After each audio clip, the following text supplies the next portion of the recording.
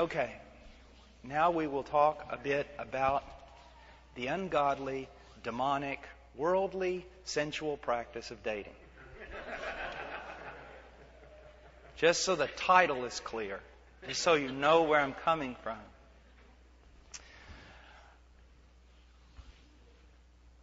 It would be proper to give, to put another word, attach it on to dating. Uh, recreational. Recreational dating. It sounds trite because it is, but that's what it is. Recreational dating. That's basically what goes on, not in the world, but in Christian spheres. Recreational dating. Dating for the fun of it. Getting into some kind of relationship just because you think you would like it. When, when young Christians or whatever in the church, uh, so I hear, you know, someone's dating or something. I go, I walk up to the young guy, let's say he's 16, and I find out, you know, uh, or the girl is 16, and there's this big class ring on her finger or something. And I, I walk over there and I go, hey, what, what's that? Well, I'm going steady. Well, congratulations. When are you going to get married? What? I go, yeah. When is the when's when's the date? Oh, I'm not going to get married. Then what are you doing? Well, I'm with him. Why? Because I want to be. And conversation usually ends by them storming off.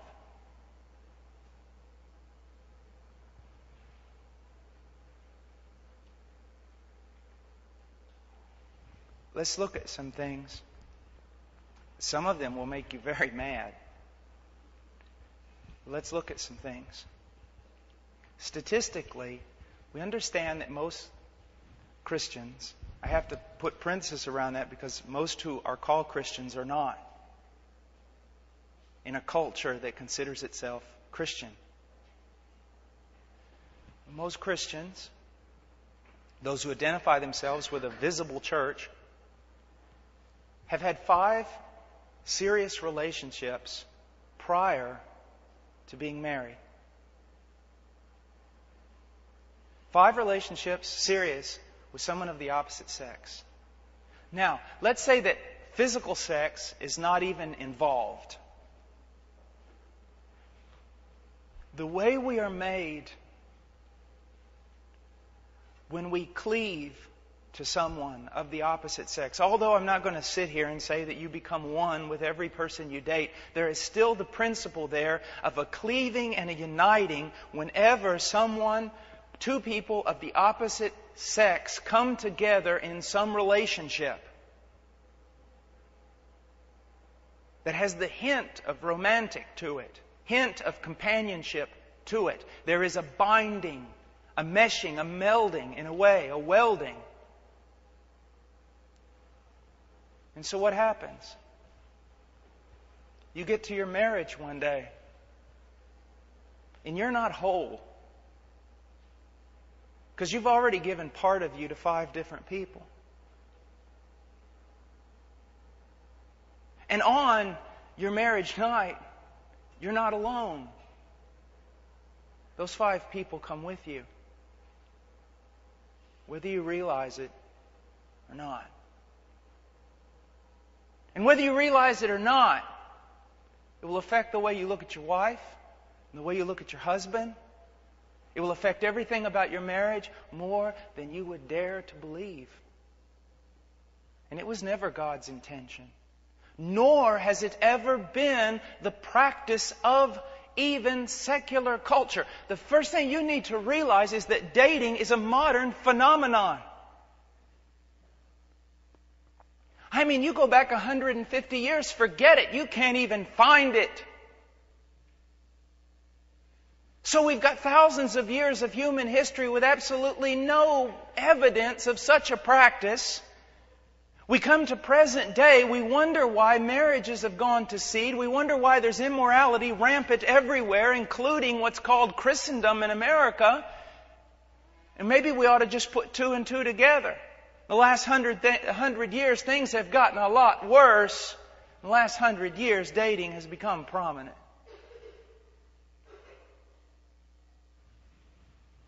Something to think about.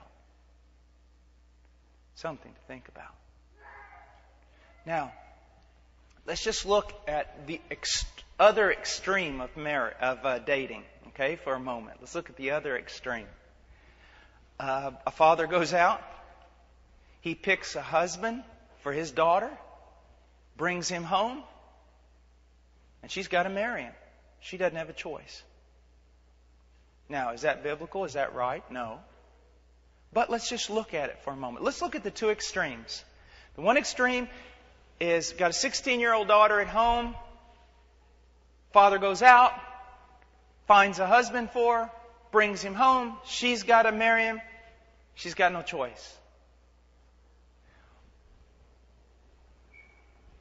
Over on this side, we've got just the opposite. 16 year old daughter goes out, decides who she's going to marry or be with, brings him home, and the father's got no choice. Now let's look at something for a moment.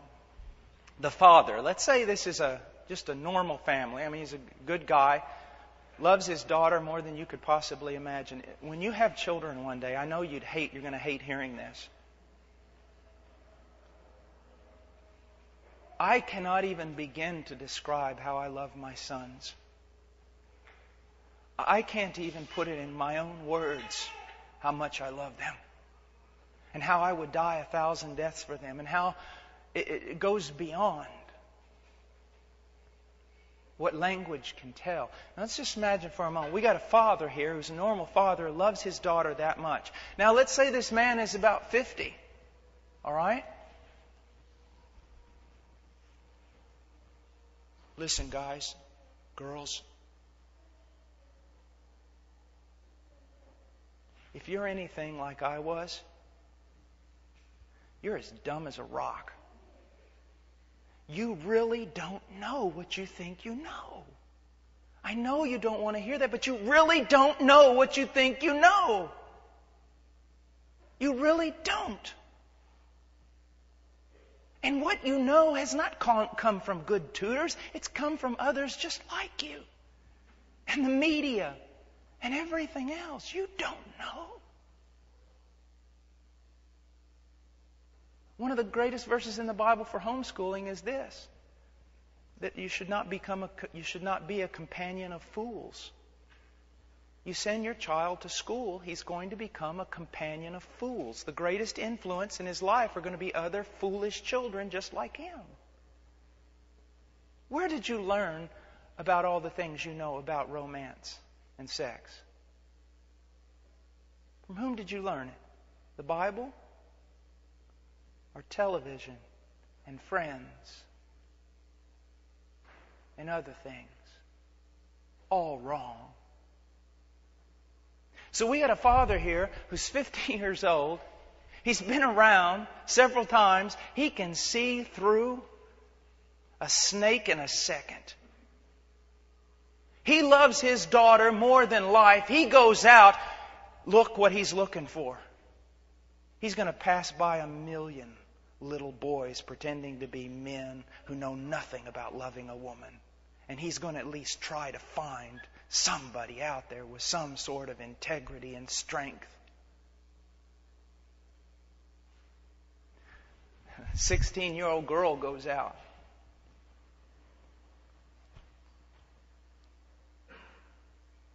Carried away by youthful lust, by sensuality, by silliness, by foolishness, by ignorance, by her heart which is deceitfully wicked, and brings home someone that dad has to accept. Now, if we had to choose one of these extremes, which one would you rather choose?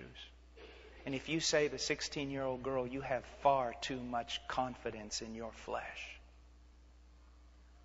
And you are proud. And you are arrogant. And you know nothing. I told you you'd get mad at me. But now,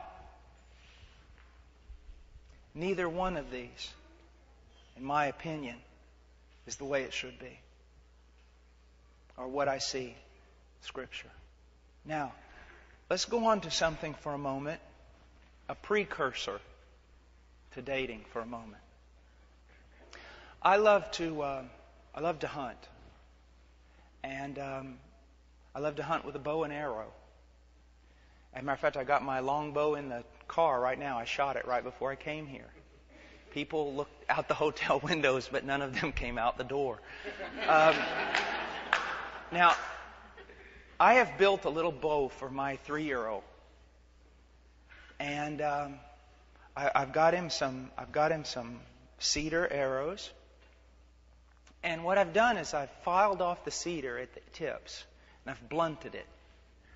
He can't cut himself. He can't hurt himself. Now, when I, I'm going turkey hunting Friday, okay, so you can all pray for me. And um, I'm going to use what's called a Zwickey broadhead. They are so sharp that you use a wrench to put them on. If you even if you even one glances your leg just like a blade of grass, it will slice your leg. It is sharper than a razor blade. You have to put them on with so much care, it's unbelievable. Now, I'm not going to give a Zwickey broadhead to my little boy.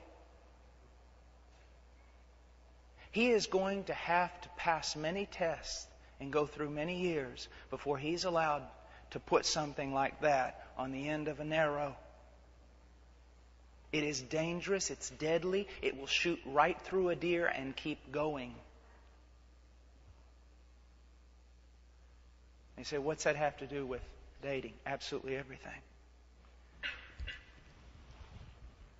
A little boy can't play with the same things, can't handle the same things a man handles. It's just wisdom. Now, along with that being able to handle it, there's a great sense of responsibility. I mean, I wouldn't put one of those broadheads on the end of an arrow for my little boy because he might shoot me. He can't hold back his bow very long. His hand sets itself to trembling. And sometimes he's not very good at shooting.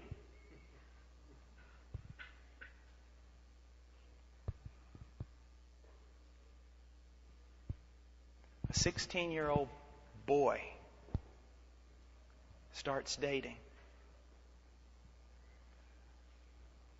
He has become nothing of a man.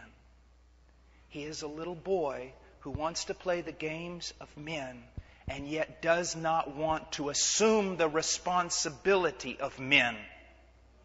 And our culture doesn't want him to either adolescence. It's demonic, it's unscientific, and it's based on a false evolutionary model. In all of culture, in all of time, it has been this. You are a boy, a little boy, until a certain passage of rite, a rite of passage, and you become a man. There is nothing in between. In the Aguaruna culture where I was at, it's around 12 or 13 years old. 12 or 13 years old, the boy can go out and hunt. He can build his own house. He can plow the field. He can do whatever he has to do to survive. He can take a wife if he wants. Why? Because he's assumed the responsibility of manhood. We don't have that anymore in our culture. We have little boys who at about 11 or 12 or 13 become adolescents. And they stay adolescents until they're 35. It's true. Don't be angry. It's true. It's true about my generation. It's true about your generation. When can you start thinking about a woman? When you have assumed the responsibility of your own manhood. Put it this way, if dad's paying the insurance for your car, you can't.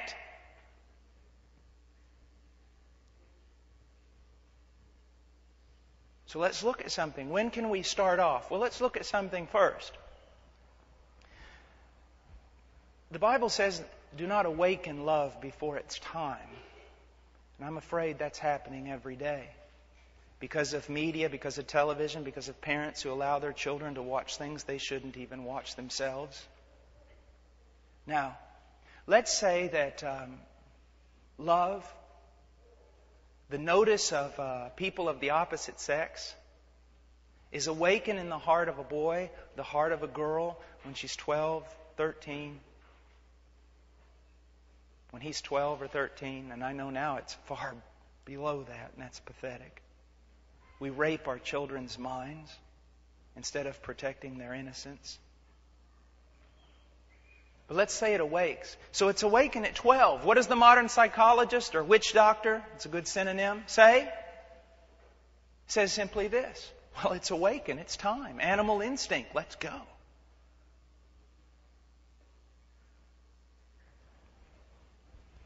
What is it when that passion awakes in the heart of a boy or a girl?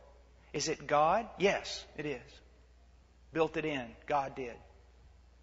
Is He signaling that it's time for them to enter into relationships? No. He's signaling, he's signaling to them that it's time for them to begin to prepare for manhood and womanhood so that they might someday joined together with someone of the opposite sex of God's choosing. It is a signal, it is a time to prepare. My wife has a wonderful article on our website. It's called Becoming Esther. And it's about that. You see, when that awakens in the heart of a young man, the father should be there and say, Son, this is good. This was put in you by God, and it signals that now it is time for you to take serious the challenge of assuming the responsibility of manhood, and once you have done that, and I'll be by your side to train you and lead you and help you. When you've assumed the responsibility of manhood, then you can start to think about finding your mate.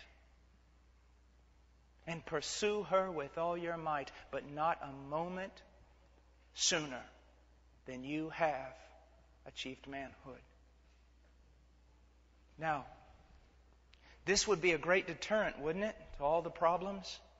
You see, here's the thing. If, if, if you no longer have to qualify before you can go through the door, man, everybody wants to go through the door. Everybody wants to participate in the party if you don't have to qualify. It's like this. Okay, I'm 16. I have not studied to be a man. I have not worked to be a man. I have not concerned myself with manly things. I have not assumed the, assumed the responsibility of manhood. But I get to play.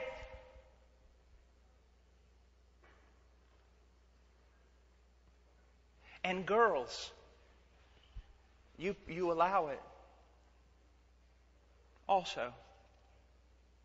It's a great thing when you can have everything you want and you don't have to assume the responsibility for any of it.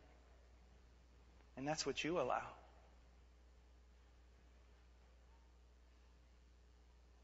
You ha- allow Him to have you without assuming the responsibility for you.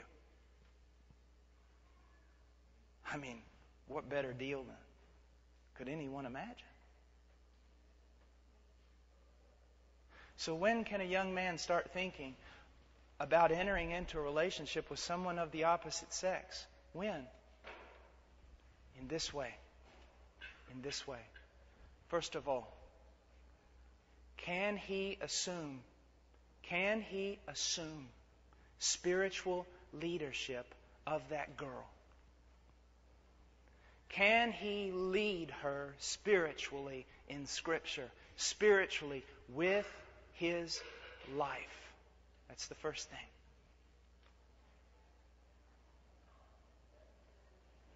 Secondly, there is an idea of strength and integrity and character of a man.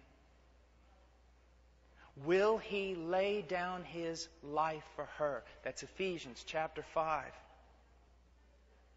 Will he lay down his life for her? Has he gained such an integrity, such a respect, such a love for her? Does he have such a calling that this is God's calling?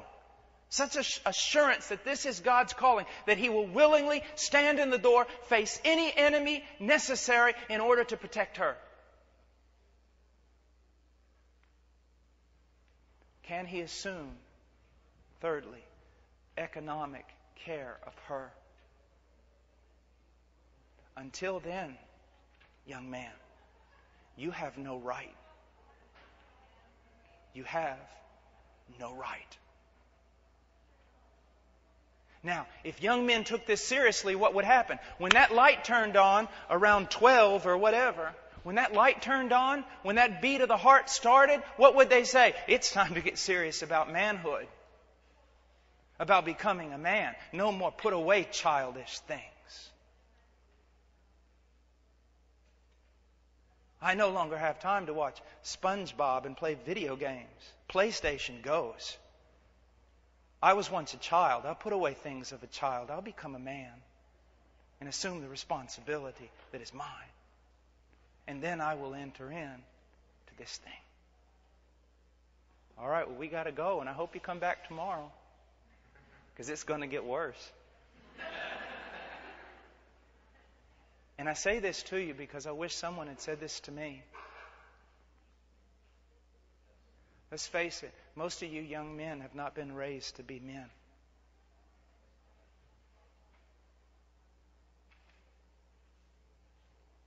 That's the plight of our culture.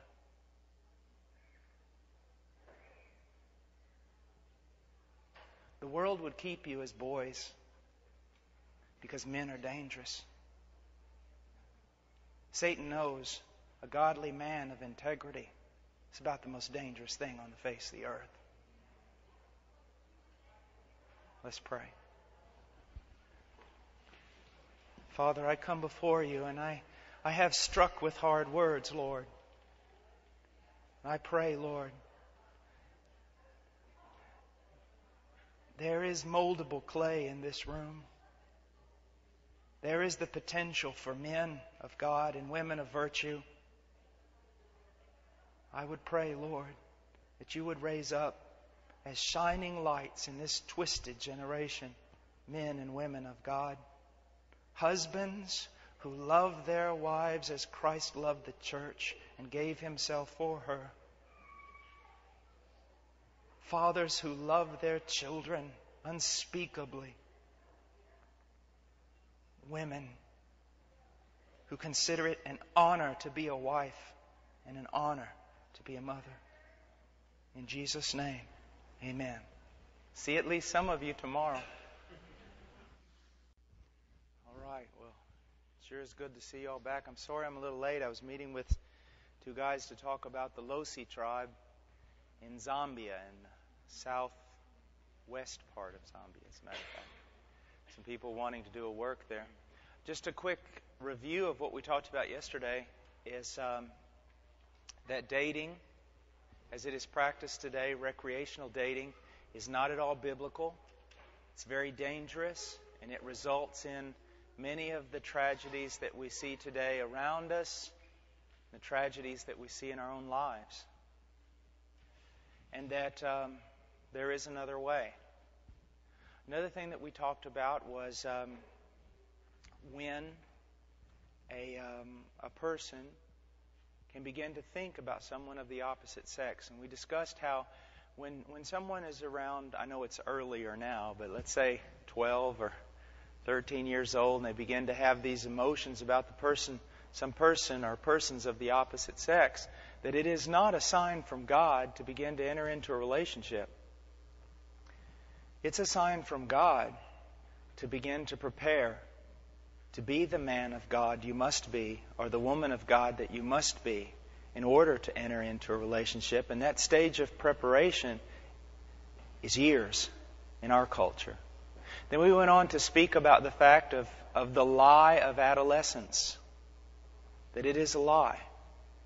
Um, it's based on a false evolutionary model, actually um, that uh, when you look at, at the, the development of a fetus that it seems to pass through various stages in which it looks like even different animals and such and that and that we as animals go from what we would call childhood to this adolescent time when we are supposed to be rebellious and we're supposed to be struggling for our freedom and we're supposed to be doing all these things. Well, that's not seen in Scripture, and it's also not seen in most cultures and most of our history. It's a recent idea, and it's done nothing but produce bad things. And the Bible said, You will know things by their fruit. Fact of the matter is, because of adolescence, uh, young men never grow up.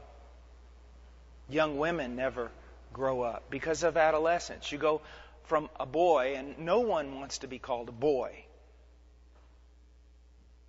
You go from a boy to adolescence. And that's a very safe place to be. You know you're not a man, and no one's going to call you a man, but at least they're not going to call you a boy. They're going to call you an adolescent. And so it's a safe place to stay, to keep acting like a boy without receiving that title, but never really growing up.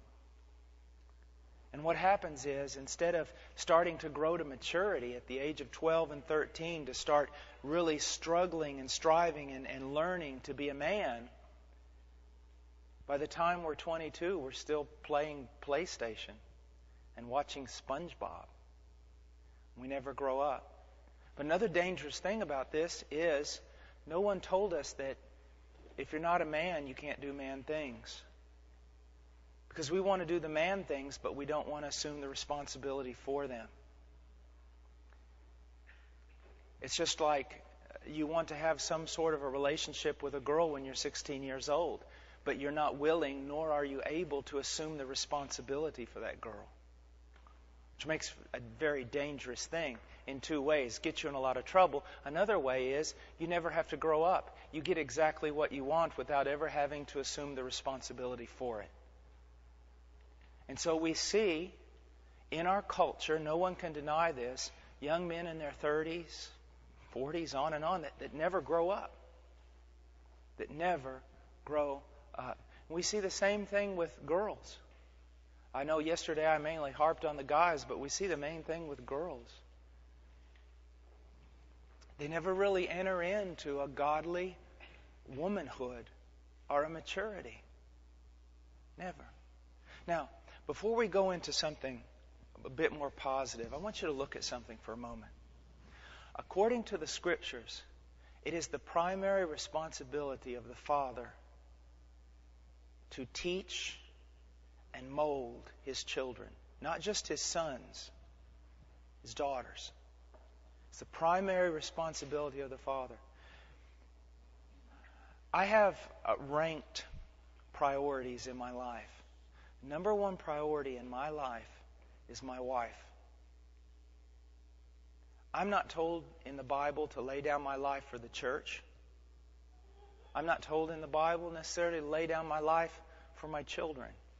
But I am told in Scripture to lay down my life for my wife as Christ laid down his life for the church. So my primary responsibility is my wife. Second to my wife are my children. Third, if I have any time left over, I'll do ministry. Because what does it matter if a man gains the whole world and loses his family, loses his wife? So my obligation is to raise two boys, to study and to heartily work, because I have two boys, to work at that and raise them. That means after I come home after 10 hours in the office, getting there super early so I can come home around 5. That means as soon as I hit that door, it means no television for dad. It means no hobbies for dad. It means nothing for dad except to assume his responsibility now as a husband and as a father. And you say, Well, I don't like that. Well, I'm sorry. That's manhood, and that's maybe why you don't want to enter into it. No more games. No more time for me. No more anything. But dying a death to self and laying down life for my family and finding in that greater joy than I ever could being selfish. Jesus was really telling the truth when he talked about dying as the way to joy. He was telling the truth, the way to life. But here's what we have. I want us to look at our modern day modern day academics. First of all, children by and large in Christian churches are not taught by their parents. They're not taught anything by their parents. Now, I'm not saying every case is the same, but I'm saying generally as a whole, statistically, there is almost no religious, moral teaching in the home. And the only time it might come up is when the kid has done something bad. That's when it, somebody will say something. But as far as systematically striving to invest your life in your children, it is simply not done. All their religious education, they're either sent to a Christian school or they are sent to Sunday school. That's why Sunday school in America is unbiblical because it's, it's using plan B when God doesn't have a plan B. I'm not saying Sunday school's wrong. I'm saying it's wrong when the father doesn't assume his role as spiritual mentor of his children and then sends his kids off to Sunday school. God's not going to bless that. It's wrong. And you're going to take your most precious treasure and have someone else teach them, someone you don't even know, the things about God, the most important things that will affect their eternity. And then what happens? Most kids go off to school, whether it's Christian school or, or public school, and, and they become what Proverbs warns against a companion of fools. You learn who has shaped who has shaped your character? Now, I don't know you, so I can't judge you. But I can tell you again, statistically and generally, the youth are shaped by other youth. Who are shaped by what? Media. Media.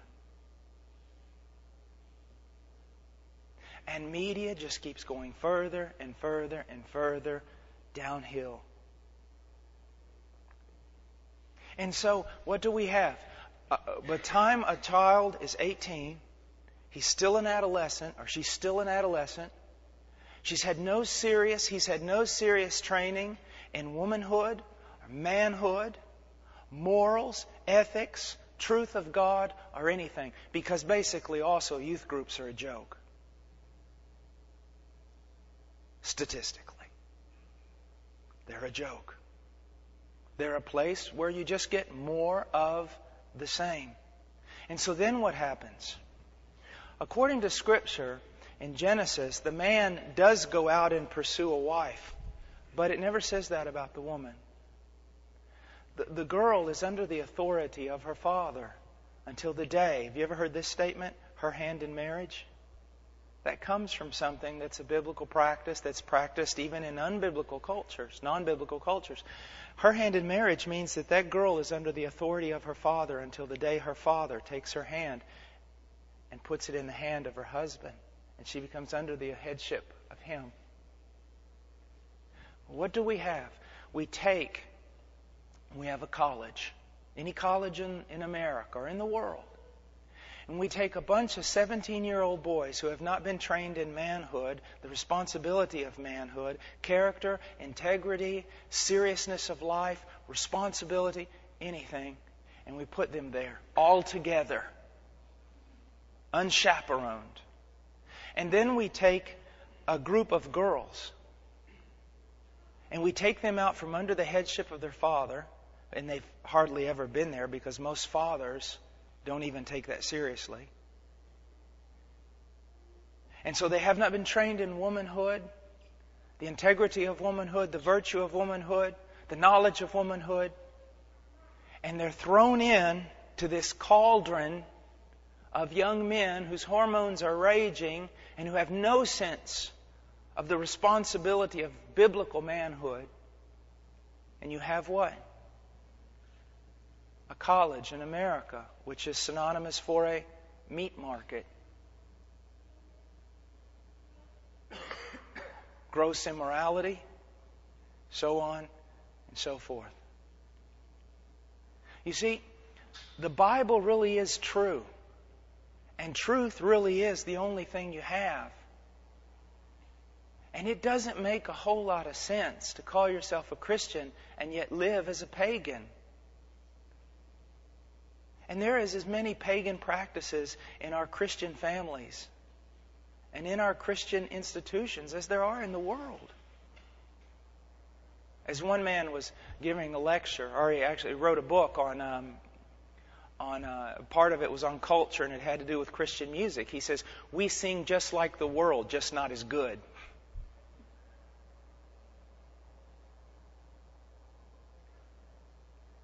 And so we've got to realize, you know, someone, for example, what if if you uh, met one of your friends, you know, one day, and he's just got this big bruised, bloody spot on his forehead? You're going, what happened to you? And he goes, man, I don't know. I don't know. I just, I've had this for years.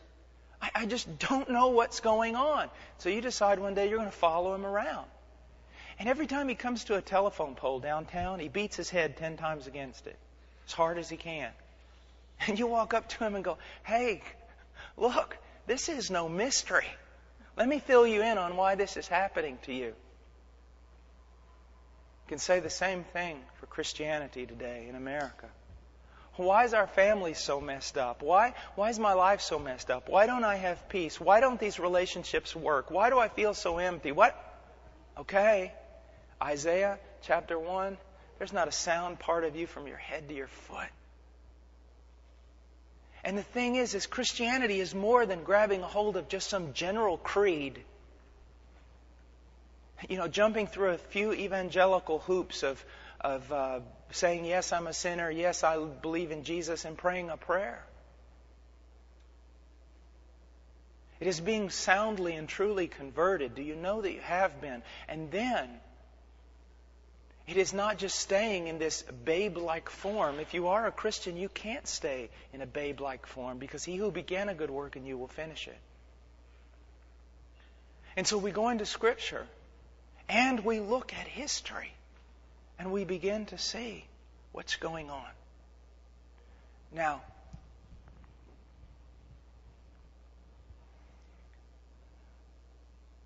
what does it mean to be a man? We spoke a little bit yesterday about the fact of you can begin to think of someone of the opposite sex when you are able to spiritually lead a person of the opposite sex. Until then, biblically, no. All girls are off limits. Don't even think about a relationship. Don't even think about drawing near to a girl because you have no right you have not paid your dues. You have not grown up. Spiritually lead the woman. Again, as I said yesterday, also there is the idea of being her protector and the one who cares for her. Now, that doesn't mean you're muscle bound, but that does mean you will lay down your life if you have to for her and never depart from her side. It means more than muscles and it means more than brawn. It means integrity and character.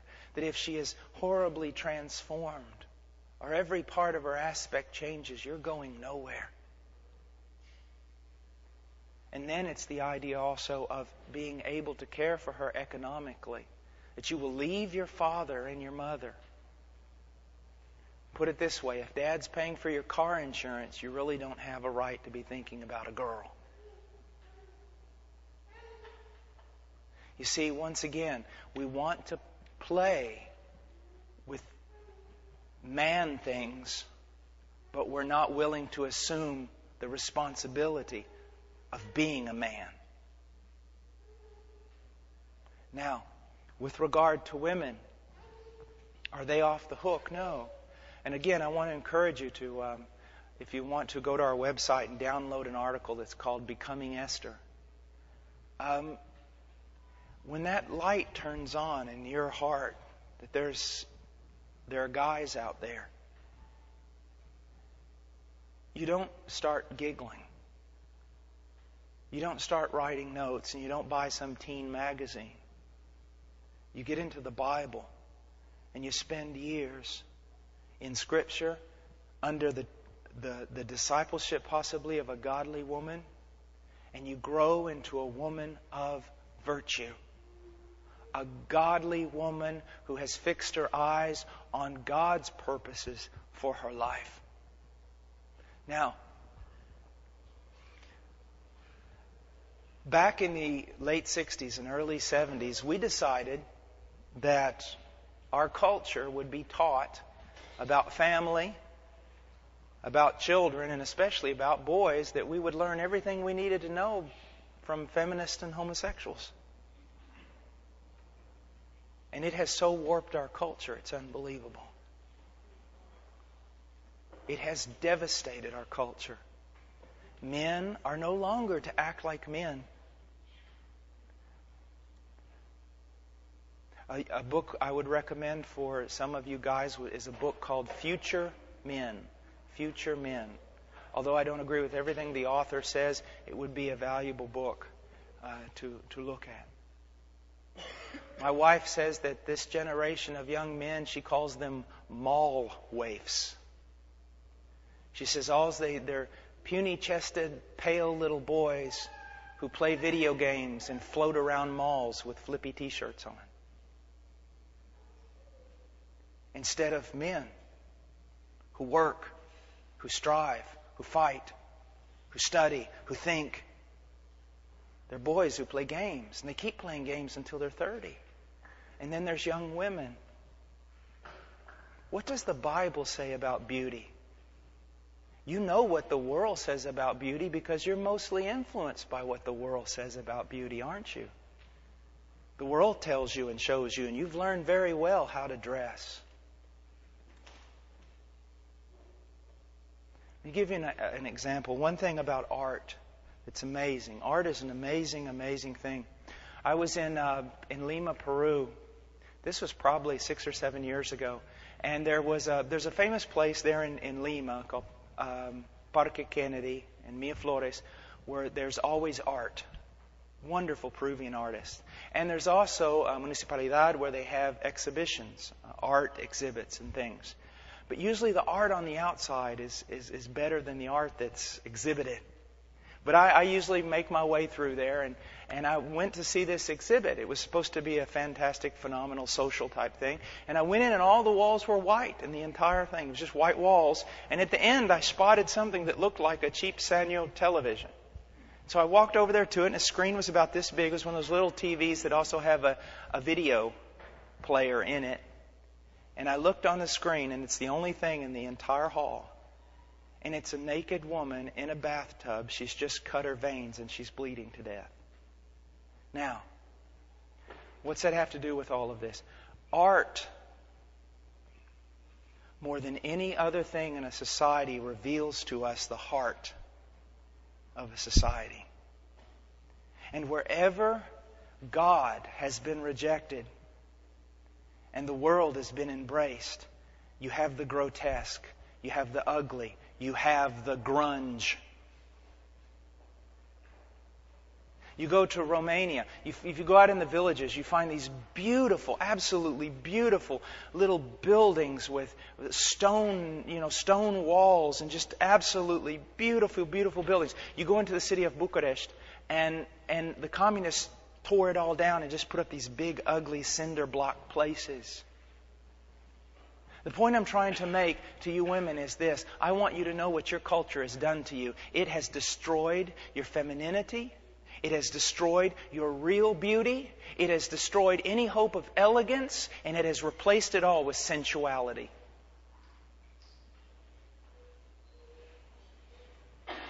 Let me give you a little thing that I always teach on college campuses. Everybody gets a big kick out of it. It's this. If your clothing is a frame for your face, it's of God. If your clothing is a frame for your face, it's of God. If your clothing is a frame for your body, it is sensual, and God hates it.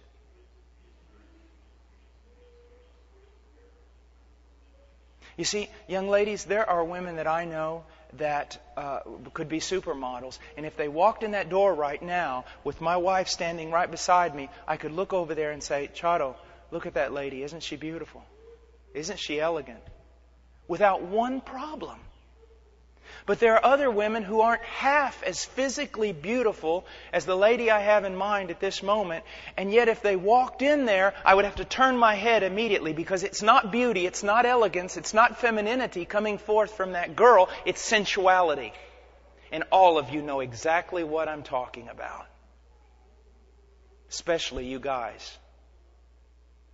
The difference between beauty, which is of God, elegance, which is of God, femininity, which is of God, and sensuality, which is hellish and demonic and causes a stumbling block.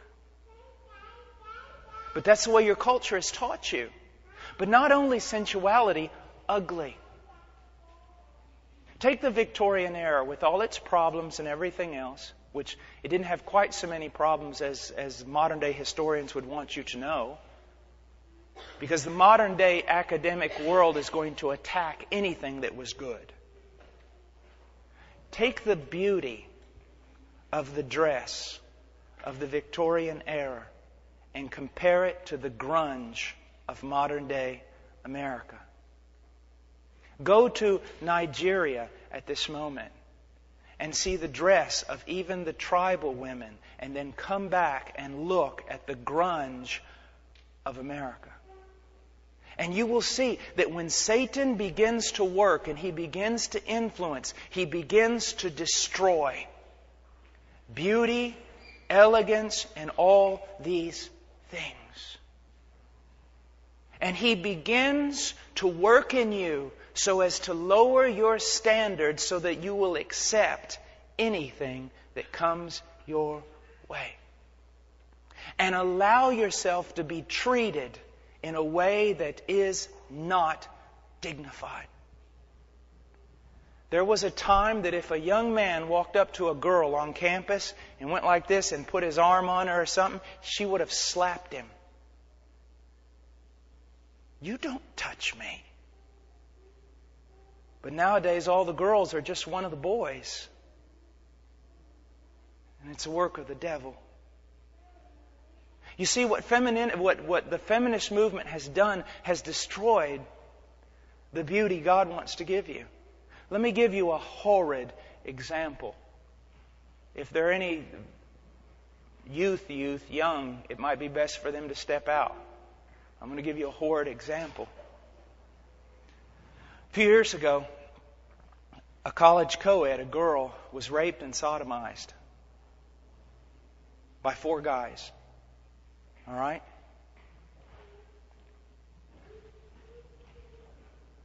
That weekend, before it happened, there was a great feminist rally on campus. And the feminists, this is what they handed out to all the girls that were there. Handed out t-shirts to every one of them that said, I won't say the word, but I'll give you the definition, said, I am a female dog. That's what they handed out. I am a female dog. Well, the girl who was treated like a female dog, she had that shirt on. Now, what I'm saying, those guys who did that to her, they should not only be thrown in jail, capital punishment should probably be given to them. But at the same point, do you see what's going on? Even you if you're a part of this culture, you have dropped your standard so as to allow young men to say things to you, to treat you in such ways that, that are not right. And if you could go back to your grandmother's era, people would look down at you with disdain because of the way you act and the way you allow others to treat you. What I'm saying is we have dropped the ball, we have lowered the standard. Now that can happen in the world because the world is pagan and without God, but we're supposed to be Christians, remember? Here is the great problem with our generation. I don't want to say yours, I just want to say ours. Here's the great problem. We think that in order to be relevant, we need to be like the world. Jesus said in order to be relevant, you have to be just the opposite of the world. Just the opposite. Now, let me give you this illustration to show you how far we've fallen. I used it yesterday, but some of you weren't here, and it's this. What some of you wear to the beach out in public, if someone had wore the same thing 60 years ago, they would have either been thrown in a mental institution or a prison by the secular authorities. Now, whether you're mad at me or not really doesn't matter. The thing about it is, you can't deny that what I'm saying is true. Go ask your grandmother. It is true. No one would have been caught dead outside. Not even the worst of the worst. But you see, we have, we have embraced our culture in a wrong way. Now, let me give you a scenario that is, is all too common. A young man came to me a few years ago. He's, he's a godly young man. I knew his fiancee. She was godly and sincere. They love the Lord. And he's a, he's a man's man. I mean, this guy's tough as nails. And he comes into my office. He's crying. And I thought, my goodness, what's going on here? And I said, Brother, what's wrong? And he says, I just can't take it anymore. I said, What do you mean? He goes, you know my fiance. You know we desire to walk with Christ. You know we want to be pure and we want to be holy, but no, we haven't had sex, but but sometimes we just get alone and, and I don't know, in the car or, or somewhere and, and, and I'll hold her, I'll kiss her and then it'll go too far and we'll both feel miserable and horrid and we just, we don't know what to do and we repent, but then again it happens again and we just don't know what to do and we're so confused. Sometimes we think it's going to destroy our relationship and we just think we ought to pull apart and we're just so messed up. Does that sound familiar to any of you? And I said, well, what do your counselors tell you to do? He said, Well, you know, they, they told us, you know, of course we're young and, and, and this is a difficult time in our life and we just we need to pray and we need to read the word and, and we need to struggle through this. And I said, You go back and tell your counselors and I said, use my name. You go back and tell them they're a bunch of idiots and they need to stop counseling young people. And tell them to come talk to me. I don't know who they are, but tell them to come talk to me. And he said, But what are we supposed to do? And I looked at him and I kind of played a little game with him. I said, Do you think you're more spiritual than me? And of course he was. I said, Do you think you're more spiritual than me? Oh, no, Brother Paul. Have you preached to thousands of people? Oh, no. Have you walked through the jungle being chased by terrorists for the cause of Christ? No, Brother Paul, no. Then you're not more spiritual than me, are you? He said, No. I said, then why are you trying to do something that I would never do? He said, what do you mean? I said, look, brother, you, you're one of the most spiritual young men I know, and you're probably far more spiritual than I am. But listen to me. And it's the illustration I gave in church the other night. What would, I don't know what you would think, but I don't really know you. But any normal, mature Christian, if they were to, if there was a single woman in this church who was my age, and they went over to visit her today, and I was in her house making cookies with her, they would have some serious problems. Matter of fact, I wouldn't be speaking here right now if they were biblical. I mean, they'd say, they'd walk in and go, What are you doing here? And I go, Well, isn't it obvious? I'm making cookies with this lady. Are you out of your mind? What do you mean? I've got an apron on. We're not doing anything. I'm just making cookies with it.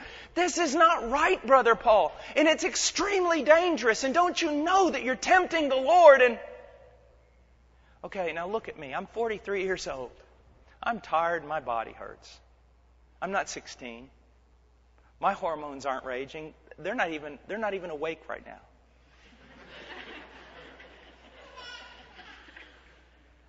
And if I fell, if I fell, I would destroy a wife. I would destroy two little boys. I would destroy a ministry, and there are a hundred missionaries that depend on me every day. And that would be destroyed. I got a lot more to lose than you do. So if it's dangerous, almost unthinkable for me to be alone with a woman that's not my wife, then what makes you think it's not unthinkable, ludicrous, insane, dangerous for you to do the same thing? Let me just put it to you this way. Guys, unless the girl is your grandmother, your mother, your sister, or a very, very ugly cousin, you are not to ever be alone with a girl. Let me see if you heard me right. Never to be alone with a girl. Never. Amen. You are never to be alone. And why is that? Okay, you go to Ephesians chapter 6. What does the Bible tell us? We wrestle not with flesh and blood, but powers and principalities and mights and dominions and so on and so forth. We are commanded as men to wrestle, lock arms, hand to hand combat with the devil. That's what the Bible says. The Bible says doesn't run. The Bible never says for us to run. The Bible says we resist him and he runs. We're to literally fight, lock arms with principalities and powers. God commands us to do that. But in 2 Timothy, when it comes to youthful lust, he says run. Look at that. That tells me that what's the youthful lust inside of every one of you here is more dangerous than the devil himself. You see, it's not the case of, what would you think if I'm over here praying and fasting and praying and fasting, and when I get up, you say, Brother Paul, what are you praying and fasting so much about? And I say, Man, I'm praying that God will give me power to go rob a bank tomorrow. You go, Are you out of your mind? God doesn't give you power to do things that are outside of His will. Well, are you out of yours? Because you're praying and praying and praying that you might be holy in this relationship. You're praying that you might not fall. You're praying that you might be pure. You're praying all these things, and then you get alone with the girl.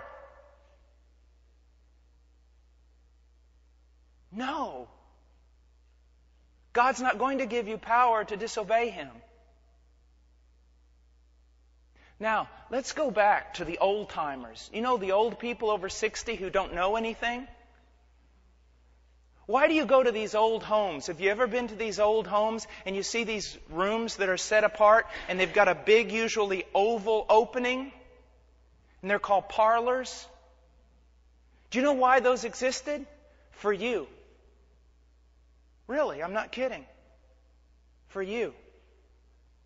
For young people who had set it upon themselves to find a mate and to be married. Yes, a parlor. Why? So that a young girl and a young guy who were courting could go in that room and they could be alone and they could talk. But there's a big opening and every once in a while dad passes by with a 12 gauge shotgun. So you have all the intimacy in the world to talk about all the things you want to talk. But if you touch her, he's going to blow your hand off. You say, well, I've never heard of such a thing. I know, that's why I'm telling you now. You say, this is ludicrous. Yeah, there's a lot of things about holiness that's ludicrous to a carnal mind. Most of you have already gone too far, and you know it, and this would have stopped you. And the fact of the matter is, you're not going to get spiritual enough to withstand youthful lust. You've got to flee from it or fall before it.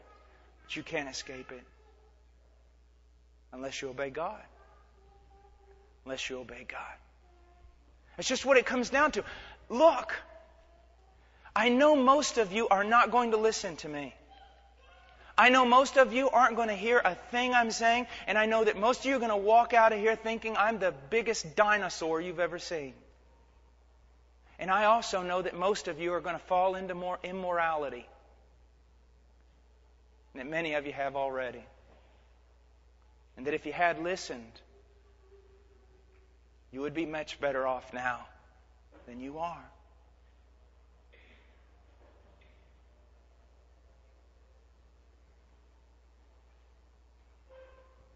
Now, how do we go about this? I'm going to give you a really quick scenario. Now, this is a perfect case scenario, okay?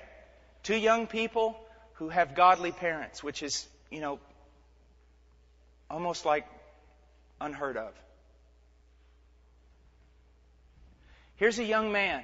He has been trained by his father. His father has invested his life in him. Since he was a boy, the father was working to teach him the scriptures, to teach him wisdom, to teach him things, to mold him and make him into a man. The father has sacrificed so many things. He did not climb up in the company. He was never able to buy the big bass boat. He never had any free time because he did what God told him to do. The father made his priority, first of all, the mother of that boy and loved her with all his heart. And then second was the boy. And he gave his life for his wife and for his children.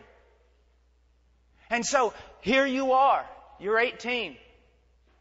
And with a father like that, you can work. You can, you can work all day and it doesn't touch you. You don't even know what SpongeBob is. You could go and defend. You could die rightly. You can withstand things. You know things in your mind. You've studied history. You've become a man. And you begin to notice a girl. Again, perfect case scenario. She's been raised by her mother. She's been taught by her mother. Bible, Bible, Bible, Bible. The things of womanhood, the things of virtue. This girl, her mother has invested 18 years of her life and not only that, she has a father that she's looked at and she's always said, I'm going to marry a man and he's not going to have a lower standard than my dad. I've seen the way my dad loves my mother. I'm not settling for any other thing. And so this young man, he begins to notice this girl. He begins to notice her. They take interest. You can, you can see it. He hasn't approached her. He hasn't talked to her because that's not his right. Oh, possibly as friends or something in, in the community of other youth and things like that. But he's never approached her about anything about his feelings. Or will you go steady with me or wear my ring? He doesn't even know what that means. He's, he goes to his father, who's a godly man, and he says, Dad, I've, I see someone and I've been praying about her. And this, I think, maybe. And the father might stop him right there and say, Son, it's still not time. Son, there's still more for you to know. And what should the boy do? He should submit to his father. But it's possible the father's going to say, Son, I am proud of the way you have grown into a man. I, I, know that you're able to spiritually lead. I know that you're able to, you have the integrity to protect. I know you, that you have the ability to provide. I think this is a good thing. I know something of the girl. I know something of her family. I am in agreement. Then what happens? The father gives the boy permission to go ask the girl? No. That would be an offense against her father. He has permission to go talk to her father. Let me give you a, just a, a kind of a little illustration here. Let's say that I get up, it's October 1st, first day of hunting season, and I get up, it's 3 in the morning, I go out, put on all my stuff, I'm excited, I've been scouting this big buck, and I go out to my truck, and it's gone. I'm calling the police. I mean, I'm mad as a hornet, everything else. My truck's just gone.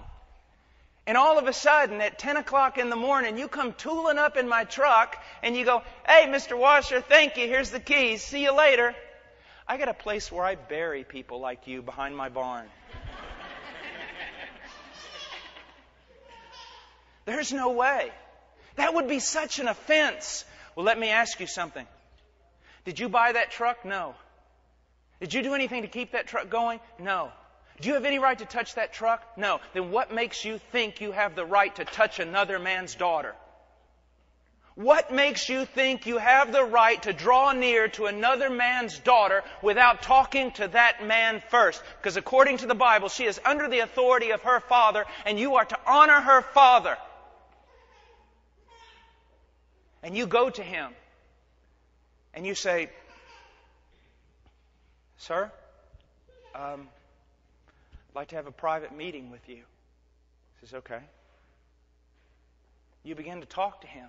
See, this is where one of the parts of manhood comes forth courage.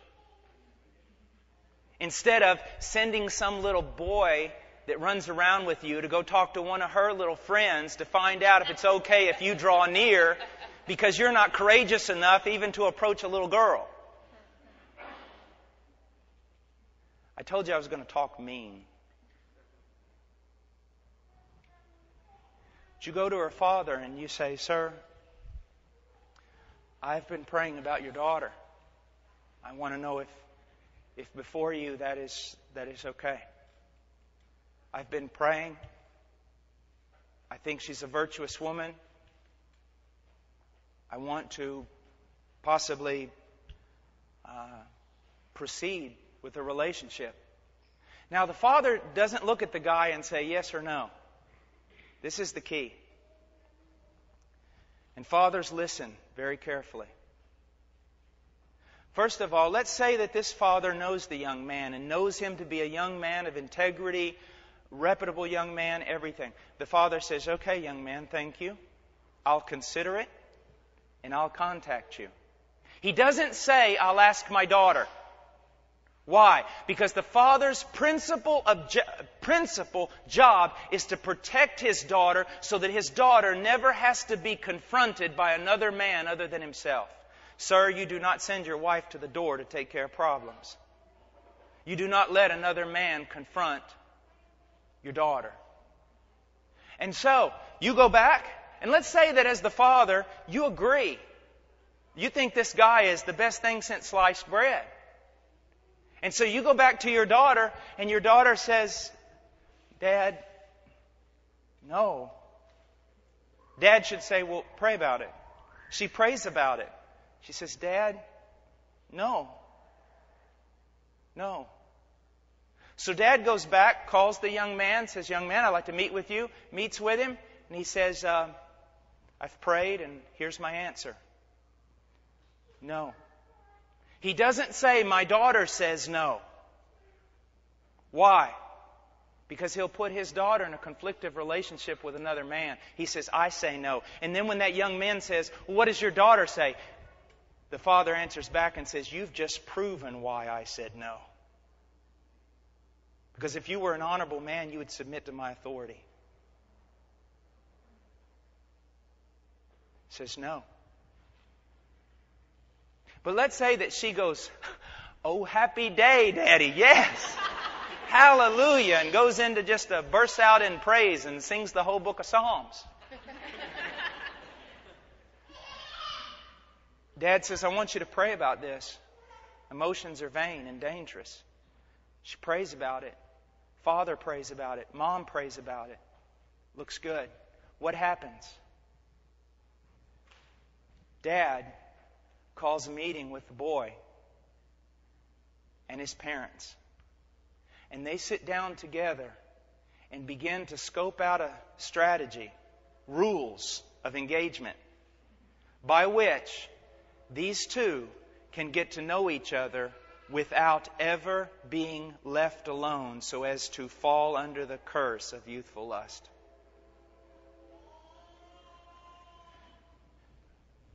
They're allowed to go out in groups together, in a group together, chaperoned by godly people. Most church people do not qualify.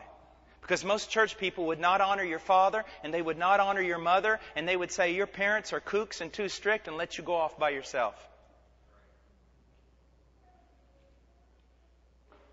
But a thing is set up where go over to mom and dad's house. You're allowed, you're there you are in the living room. You're allowed to be there three, four hours. You can talk all you want. Well, what about if we don't have any intimate, con, you know, contact? How are we going to know whether or not we're right for each other? You didn't learn that from God. You learned that from the devil.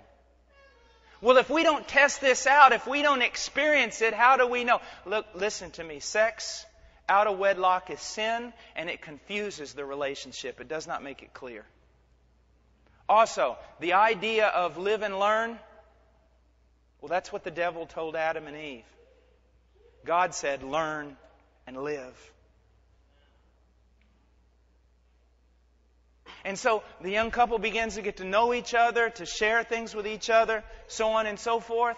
And what happens? Maybe they begin to realize this is not of God. This is not our desire. And it's, it's brought apart. Or maybe they realize this really is of God. And they make it to an altar in a way that few make it to an altar pure. Now, tomorrow we're going to deal with a not so perfect case scenario. What happens when you're off at college? What happens when your mom and dad really don't care about any of this? What do you do then? That's what we'll deal with tomorrow. Let's pray. Father, I come before you and I pray for these young people. And I pray blessing upon blessing, Lord that their lives would go from light to greater light to greater light, from blessing to greater blessing, joy to greater joy, peace to greater peace, that you would prosper them. I pray for their mates, Lord, that, that they would be godly. I pray for every young person here that they would prepare also to be godly. I pray that their children would rise up in the gates and call them blessed and honor them.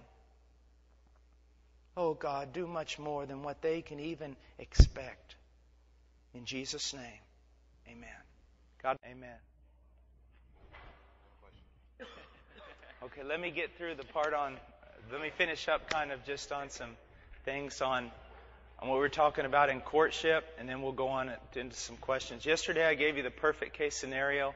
If both um, the the man and the woman, their parents were extremely godly and aware of these things. In most cases, uh, parents really just drop the ball on this and uh, don't involve themselves at all in these types of things. Again, I would recommend a book, Her Hand in Marriage. I think it's by either Douglas or Nancy Wilson. Her Hand in Marriage is a wonderful book that describes some of these things that I've been talking to you about. Um, but let's look at some less than perfect case scenarios. Let's say that the young man has gone off to college and he's a gazillion miles away from his parents, and the young girl is uh, also at college, gazillion miles away from her uh, parents and the authority of her father. And so, what then? Well, um, it's a it's a predicament, a great predicament that, uh, and, and, someone could argue uh, for and against many, many things that are involved with someone going away to college. But um, I think that in that case, what ought to be done is this. Once you move away from home as a Christian, you will become involved in a biblical fellowship somewhere, in that place where you are living. If you're not, you're in disobedience. And if you continue in that, it's evidence that probably you've never come to know Christ. A genuine work of salvation's never been done in your heart.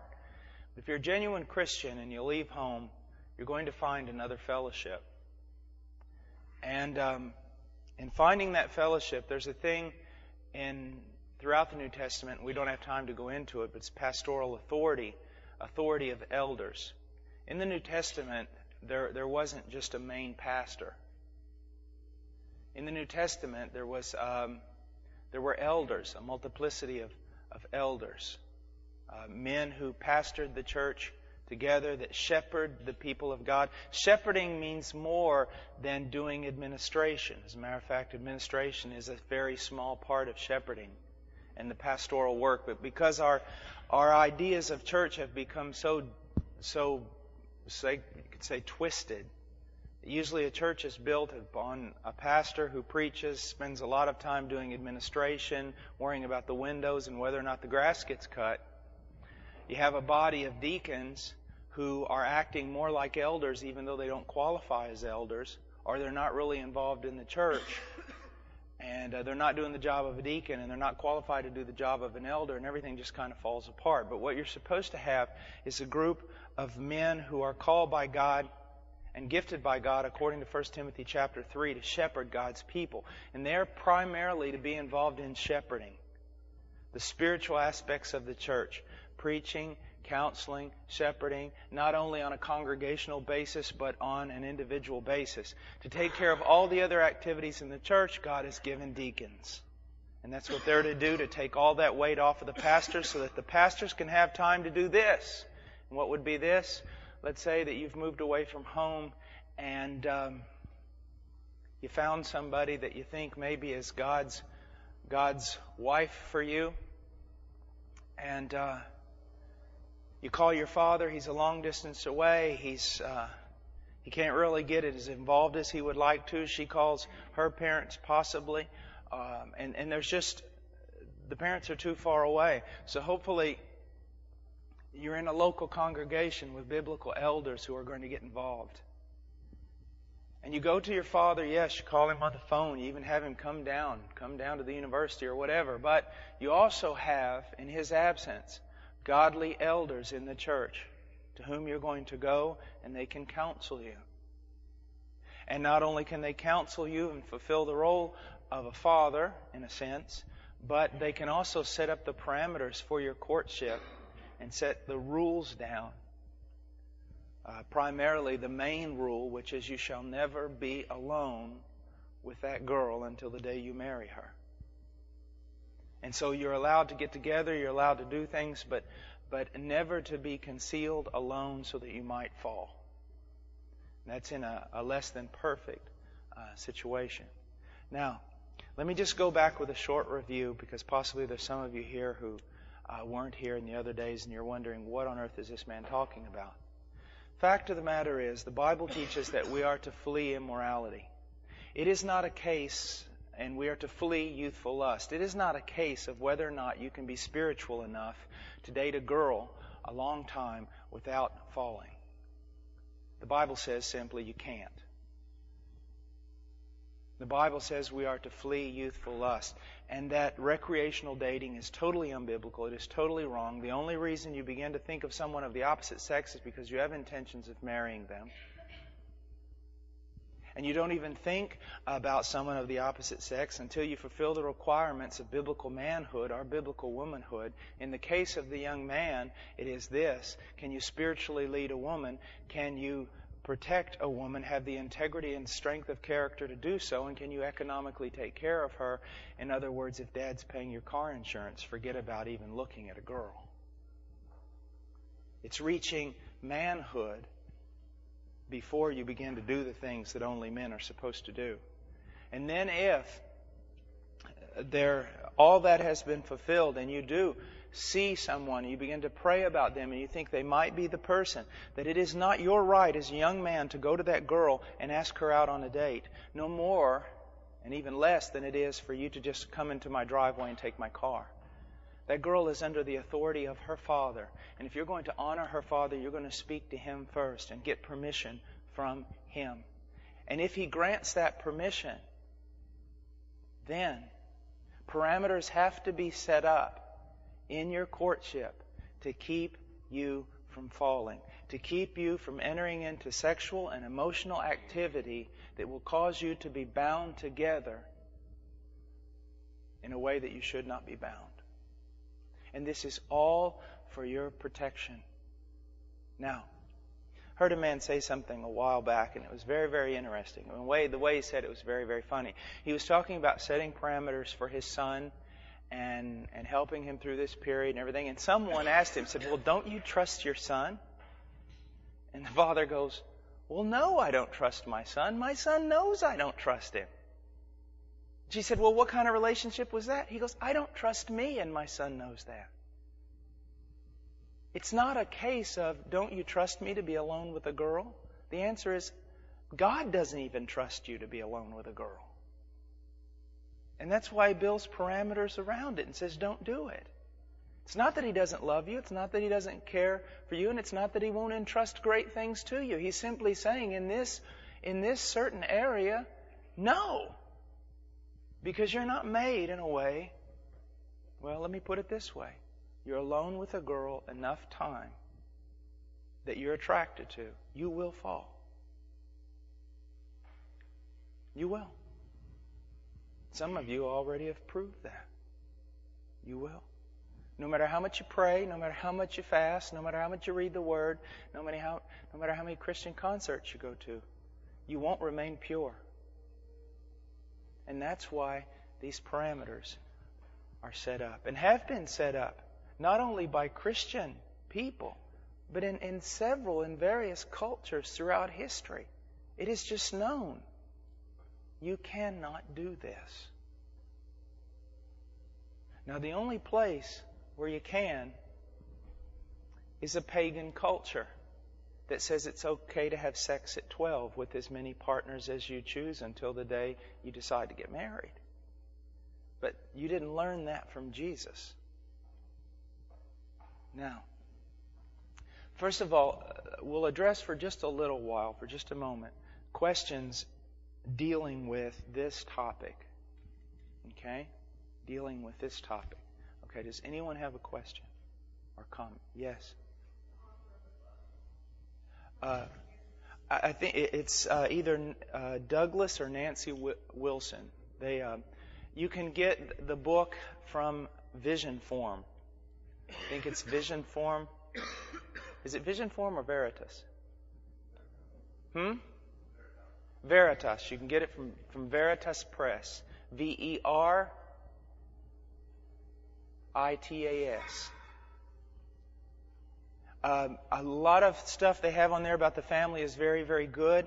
Theologically, I do not agree with them. They are kind of a, it's there's there's some theological things there that are, are kind of, uh, especially with regard to the um, the structure of the church, the relationship of civil government, and things like that. I think they go overboard on that. But as far as the family and marriage, they've got some really good books, and on children. Yes? Um, as far as you talking about uh, the people that you previously dated um, will be there, like at your wedding day. Uh, what, like, what about forgiveness? Um, you know, like, what if you've gone before God and repented of these past things? Mm-hmm. Well, people who have had. Did everyone understand the question? Hear the question? Uh, the the question was. Um, you know, Paul, you talked about the fact that if you've had a lot of relationships, then when you go to your marriage, you know, all those people that you've had relationships with, they're kind of there with you at the at the wedding. Uh, they're, they'll be involved in your marriage. And what about forgiveness and God's healing in this? Well, let's just, first of all, let's look at something. The emotional aspect of a man is just as real as the physical aspect of a man or a woman. Let's take a, a, a young boy in college who is immoral, has sex one night with the wrong person and gets AIDS. Goes to God, becomes a Christian, goes to God for forgiveness. He still has AIDS. What you need to realize is that there is healing in Jesus Christ, but here's something that your Christian culture has sold you, and it's a pack of lies. That Jesus is the fix it all. That you can basically live any kind of life in the world, go to Jesus, and He'll fix all the scars, fix all the problems, and everything. No, there are scars that you will carry with you all the days of your life. And they work as reminders. And although God can bring great healing and God can do many things, at the same time, we have to not presume upon God that, well, I can enter into these relationships and then later on God will just take care of them. No. Not at all. We carry, I, I, I could say scars, I could say residue um, of disobedience. And it can affect our entire life. Men can fall. For example, I could fall. And if I fell, uh, is there redemption for me? Yes. Is there hope for me? Yes. Could there still could I still be used of God? Yes. Would it be the same? No. Would I, would I carry it? I knew a man who was mightily used of God and saw things, saw God do things that very few men in this age have ever seen. And he fell. And years and years later, he said, It is still as bitter as gall. And so we have to be very, very careful. Did that answer your question? Okay. Yes.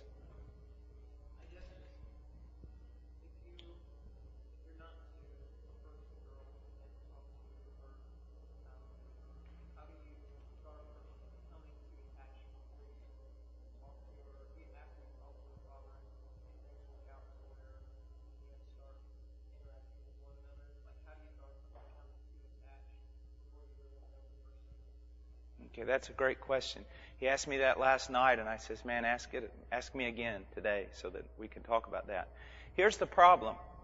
Okay, if I'm not supposed to approach this girl, okay, at all, then how am I supposed to figure out whether she is even a girl that I'm supposed to be praying about?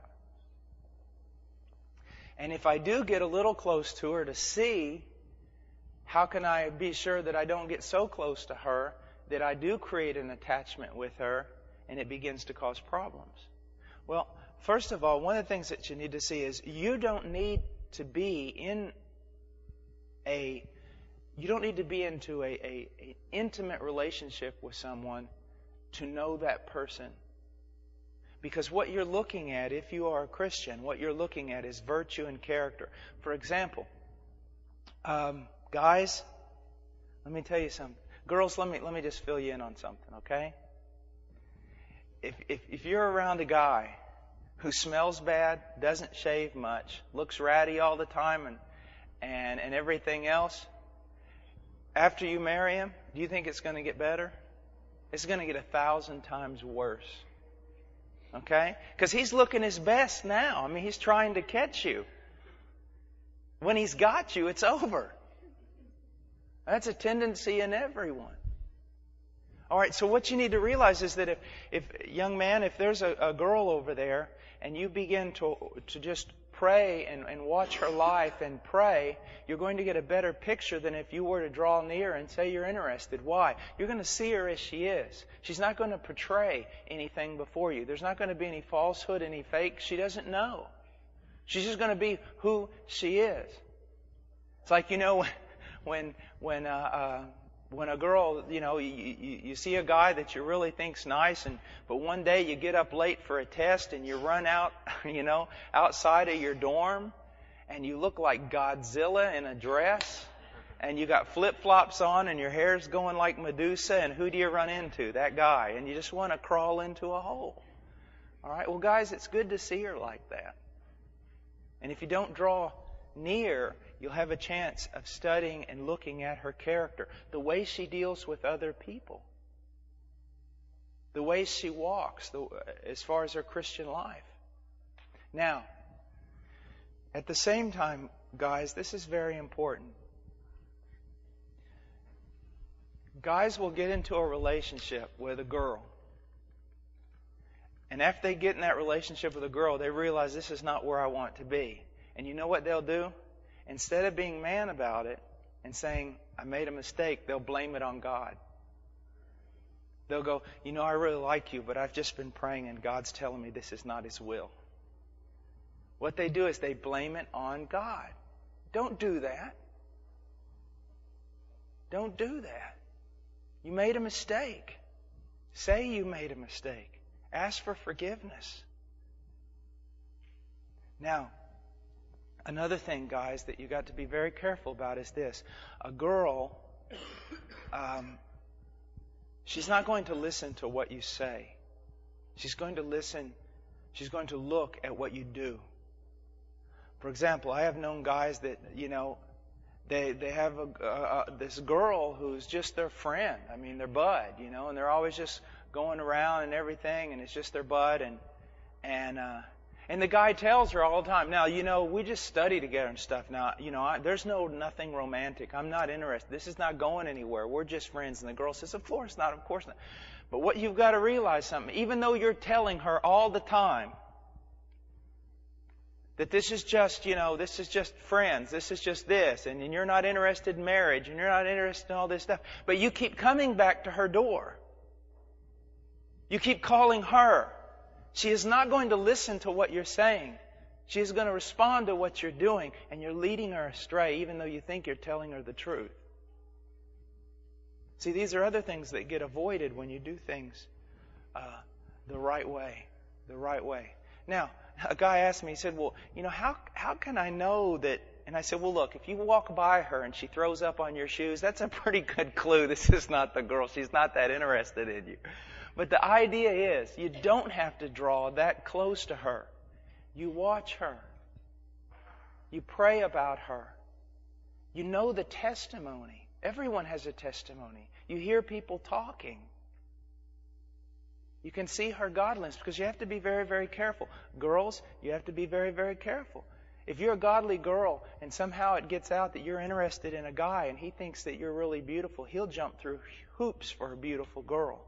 He'll change the way, superficially, he'll seem to change his character, he'll change his way of life and absolutely everything else until he has you. And, and I want to tell you something. Parents sometimes are just, I use this word when I teach parents. You're just so dumb. Just so naive. Look at, look at what I hear. I hear this all the time.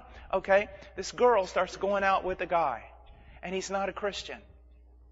And so her parents put a lot of pressure on her, and um, you know, maybe people in the church put pressure on her, and finally she goes to him, goes, "Look, I can't be with you anymore uh, because you're not a Christian, and and, and everything, and and it's just not right. You know, it shouldn't be unequally yoked." Man, inside of a week, this guy gets converted. I've seen it happen a million times. He gets converted, and then everybody goes, "Okay, it's all right now." That evangelicals could, could have such lack of discernment is beyond me. It just tells me that a bunch of us are lost. It's not okay right now. Maybe it'll be okay after a couple of years of him walking with God and growing to be a man of God. Okay? Okay, another question? Yes.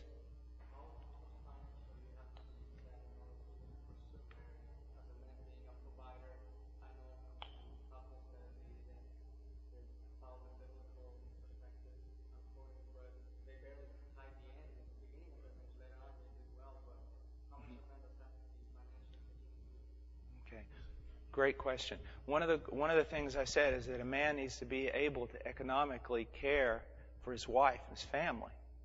Okay, now here's something.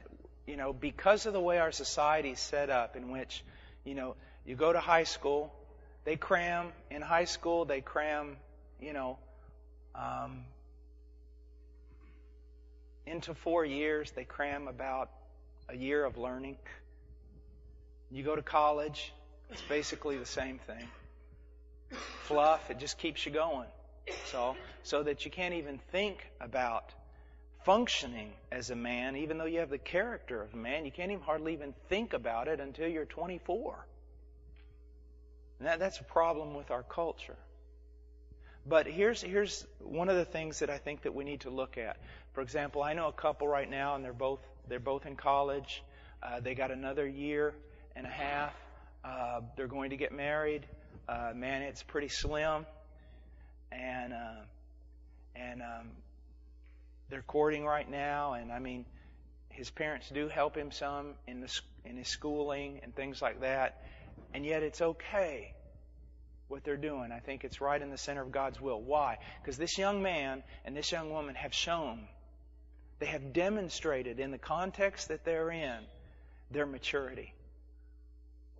Now, the fact that their parents want to help them a little bit and they need that help and it allows the young man to study more so he can get out quicker and things like that, that's okay because they've, they've already, in, in the totality of their life, they have shown maturity and they have shown that they are headed in the right direction.